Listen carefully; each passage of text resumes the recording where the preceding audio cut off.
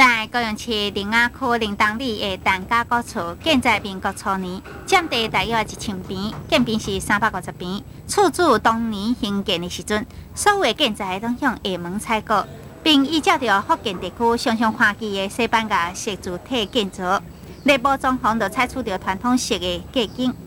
根据陈家古厝管理员讲，古厝的刷石材料拢是就地取材，木材都来自福建省最名贵的木材。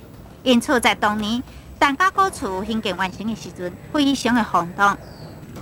高雄市长苏南生最近前往参观，认为古厝非常具有咱个传统民体建筑的特色。如果会当好好保存，将是具有历史意义的古迹。因此，市政府有意将伊增建为高雄书馆。厝主原则上因为已经同意。